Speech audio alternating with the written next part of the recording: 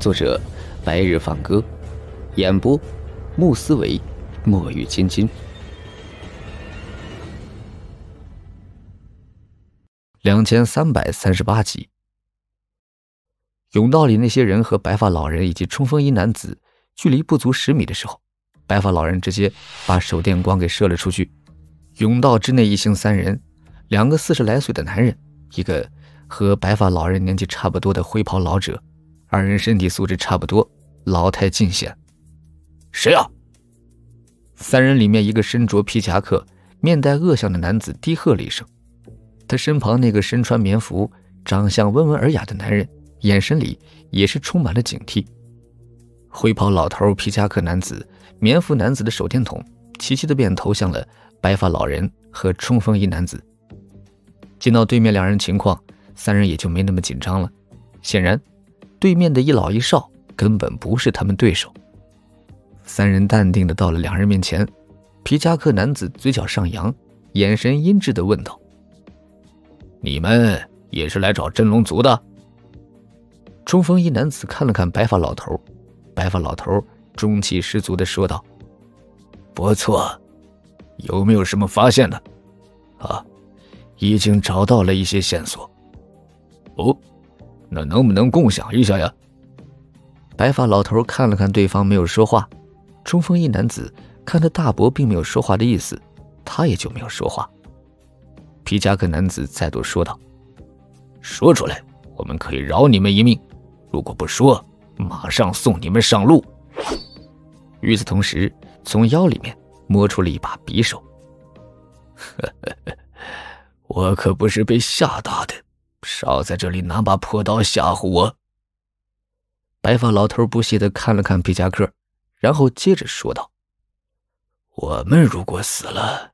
你们也休想得到线索，来吧，动手啊！说完这话，白发老头闭上了眼睛，一副求死的模样。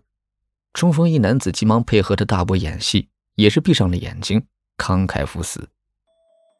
其实，此刻冲锋衣男子心里面慌得很呢，后背早就已经湿透了，真不知道他大伯到底是怎么想的。他妈的，敬酒不吃吃罚酒！真以为老子不敢杀你们呢？不就是线索吗？你们能找到，老子也能找到，是吗？那你们试试看好了。试试就试试。皮夹克男子冷哼一声，扬起手中匕首，便朝着白发老者走了过来。慢着！就在这时，灰袍老头的声音响起了。此话一出，皮夹克男子立刻便停下手来。回头望向了灰袍老者，师傅，把匕首放下吧。师傅，我让你放下。皮夹克男子无奈，只好把扬起的手又放了下来。不过他并没有把匕首放回腰间，握着匕首的手反倒是握得更紧了。灰袍老者往前走了两步，开口说道：“我们问你有没有发现线索。”你立刻就回答发现了，痛快的很嘛？听到这话，白发老头睁开了眼睛，回答道：“不痛快又能怎么样啊？我们又不是你们的对手。”这一回，灰袍老人没有再说话了，白发老头则继续说：“配合你们，或许还有活路。”哦，配合好啊。可既然是配合，我这位弟子和颜悦色的问你们，你们为何不说呀？老哥哥呀，我们也是千辛万苦才来了这里，真龙族却只有一个，我们配合你们得了真龙族，你们也不可能把真龙族破开来分我们一半吧？这就意味着我们就算是白忙活了。虽然我们想保命。但做这个决定也是颇为艰难。我就是顿了一顿，你那个徒弟立刻就炸了毛，要对我们两个人进行威胁。可我这个老头子，他偏偏是个犟种，最他妈烦的就是威胁，大不了不就是一死吗？说完这话，白发老者把双臂环于胸前，满脸得意的说道：“反正啊，我如果死了，你们很难能找到线索。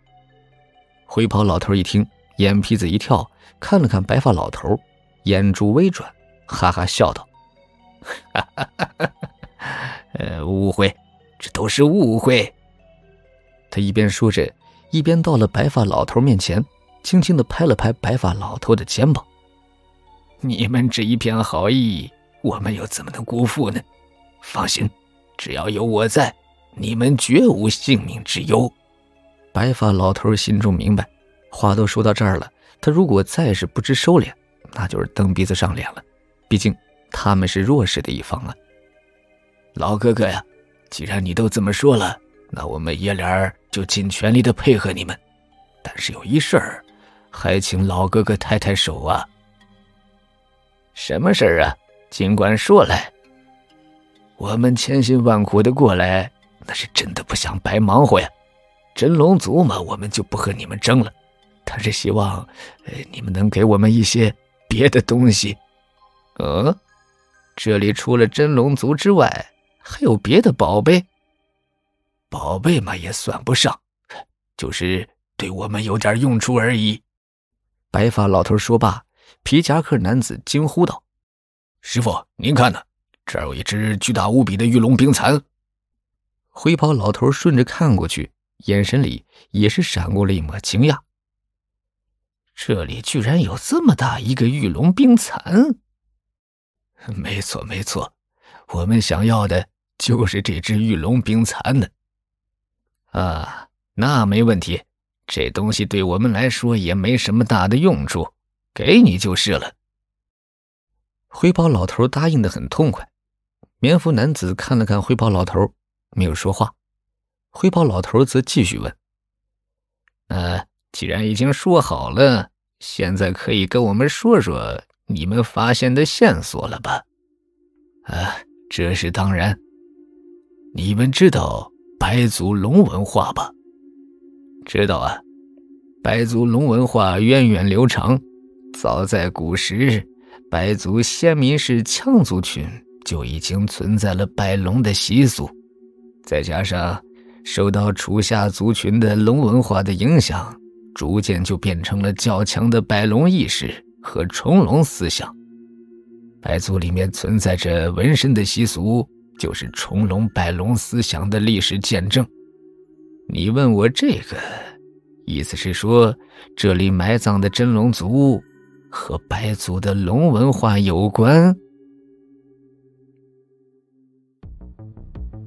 本集播讲完毕。感谢您的收听，喜欢的话，请记得点赞留言。